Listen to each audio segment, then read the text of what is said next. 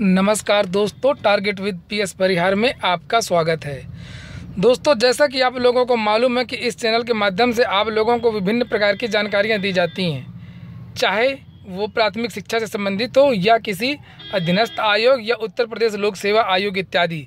तो दोस्तों, उसी क्रम में आज ये एक बहुत बड़ी जानकारी है आप लोगों के लिए, जिसके लिए आप लोग कई दिन से पूछ रहे थे कि, सर सी टी टी दो हज़ार अठारह की परीक्षा कब होगी? इसकी एग्जैक्ट तारीख क्या है? तो दोस्तों सी के वेबसाइट में इसकी तारीख अपलोड कर दी गई है और आप लोग देख सकते हैं कि इसकी तारीख क्या है।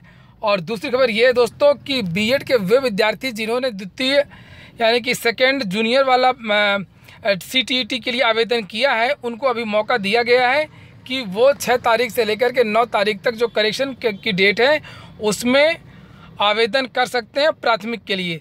तो दोस्तों, आइए देखते हैं कि कौन कौन सी नोटिस सी की वेबसाइट में दी गई हैं।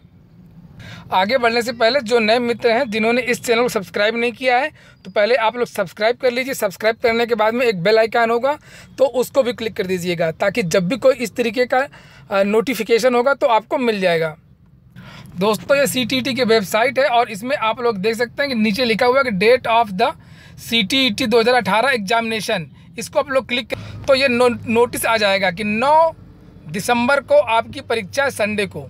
तो ठीक है दोस्तों, आप लोग नोट कर लीजिए और इसकी तैयारी करना आप लोग अभी से और दोस्तों, दूसरी बात है नोटिफिकेशन जो आया बीएड वालों के लिए।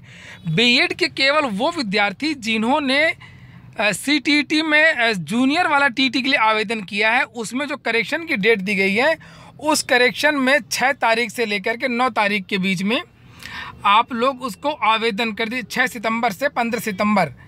में आप लोग करेक्शन करिए। करेक्शन में आप लोग जाएँगे तो उसमें आपको बोथ वाला क्लिक करना है और अब अपना फ़ीस जमा करनी है। तो दोस्तों, ये दो काम है। ये आप लोगों को मौका दिया गया है।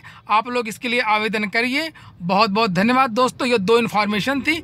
एक तो आपका एग्ज़ाम नौ तारीख को और दूसरा जो बीएड वालों वाले वो विद्यार्थी जिन्होंने जो आवेदन करने से चूक गए हैं, उनको एक ये मौका मिला दोस्तों।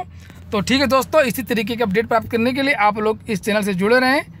बहुत बहुत धन्यवाद।